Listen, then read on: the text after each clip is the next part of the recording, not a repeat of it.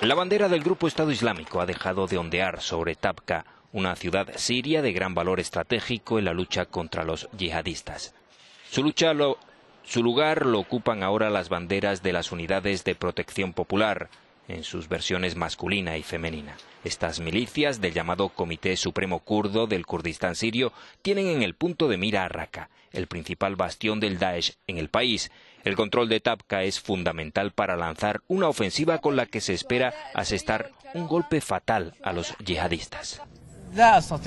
Creo que la ofensiva para liberar Raqqa comenzará a principios de este verano, afirma el comandante Abdelkader. Lo cierto es que Estados Unidos tiene mucho que ver en los éxitos de las milicias kurdas en Siria. La nueva estrategia del Pentágono para el país pasa por entregarles armamento sofisticado, lo que ha encolerizado a las autoridades turcas, que temen que esas armas terminen en manos del PKK.